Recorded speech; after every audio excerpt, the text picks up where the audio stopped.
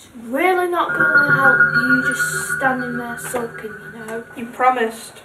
It was a small hiccup. When someone says to you, I would love to go to Blackpool at the height of the season, they usually mean the city, not the planet.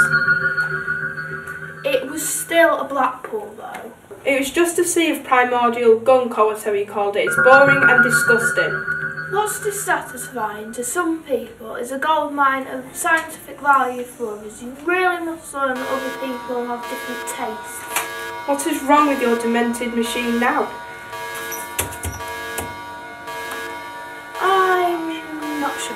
Well, there's a surprise. If I were you, I'd hold on to something. Doctor, doctor, are you okay? No, Where are we? One of the most inhospitable places I've seen for quite a while. Michael 4, I think. It takes about two weeks to orbit its star Castron Nova. Rivers of molten lava and a surface temperature hot enough to melt iron. Not exactly ideal for destination. How did we get here? That's what I don't understand. We haven't just travelled to a different planet, we travelled to a different dimension. What?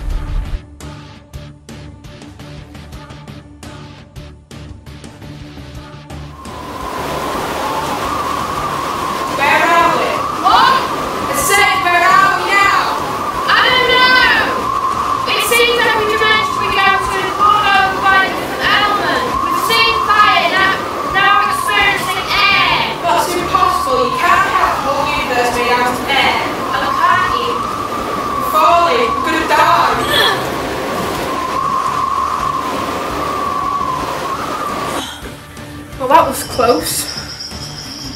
Wait, wait, wait, wait, wait, wait, wait, wait. I've got it. Got what?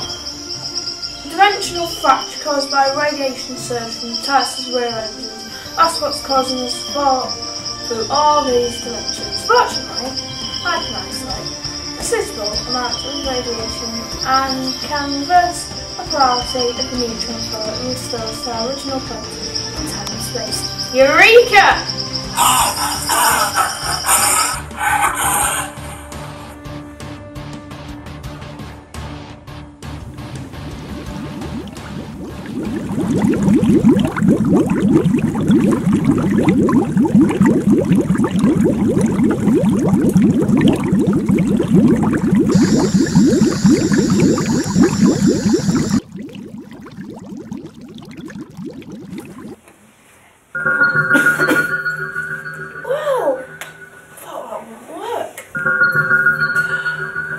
mental.